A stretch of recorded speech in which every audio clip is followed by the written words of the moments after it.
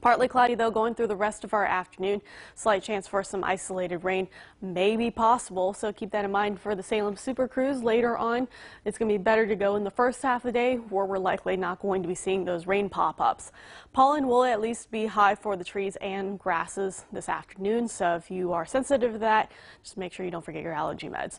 Tomorrow, afternoon cold front will be arriving. We'll have a few showers and storms to contend with. And then we are finally home free. We got much more comfortable conditions already by tomorrow evening. So let's go ahead and jump right into future tracker. So we have mix of partly to mostly cloudy skies, peeks of sunshine later on for this afternoon. There's those pop-ups. They'll be pretty sporadic. Not everyone's really going to be seeing the chance of rain for today, which is good. We don't really want to see too much rain. We've already seen way too much for this past week. Luckily, we did not have any major flooding concerns here in the valley. However, around the, the surrounding region, they did see some flood advisories and flash flood warnings. So we actually ended up lucking out. However, we really can't take much more rain. Going into the overnight hours, patchy fog, any kind of rain should be lightening up. But by tomorrow morning, we already could have some rain greeting us on the radar, so we'll keep an eye on that. But then that cold front will be sweeping through. Notice the winds now shifting out of the north and west. That means that cooler air is moving through, pushing out a lot of this rain. However, it's going to allow for those showers and storms to develop in the afternoon. More so for the folks down towards the south and east. So if you are headed out into Pittsburgh on Sunday, you may be contending with some heavier showers and maybe some storms.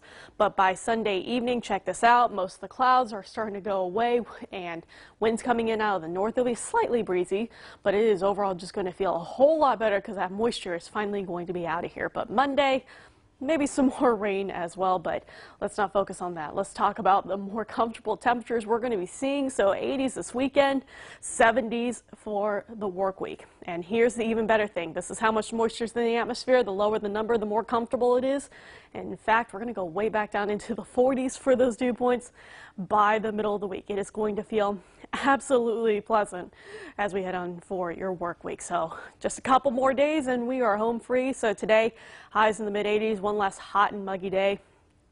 Tomorrow, low or tonight, low to mid 60s with some patchy fog developing. Now tomorrow we'll have a mix of the sun and clouds to start off with some scattered showers. And then once that front is through, we are done at least for the evening because then rain returns for Monday, but at least it'll be a whole lot better to be outside. And then Tuesday, slight, slight chance for some isolated rain, but mostly dry for that day. And then Wednesday and Thursday, we'll keep those skies completely rain free. Highs in the mid 70s, much lower humidity, just comfortable outside. If you have any plans going on those two days, you don't have to worry about weather being an impact. In fact, you're going to want to try and make plans for those days because it is going to be nice to actually be outside and not actually have to worry about the rain or the mugginess or the heat for once and at least over the last week.